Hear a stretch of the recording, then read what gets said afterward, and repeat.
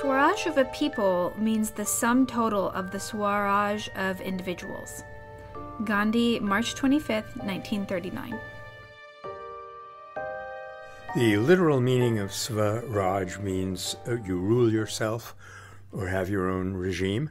And it was a uh, spiritual term which Gandhi appropriated to use for the political independence of India from foreign rule, which he hoped and worked for becoming much more than just a political independence, but a return to the individual freedom and responsibility uh, of the individuals in India, which would, as he says, sum up to uh, what was sometimes called Rama Rajya, or the rule of God, heavenly regime in India.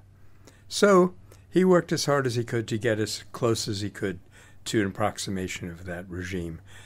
Spiritual freedom being parlayed into political freedom.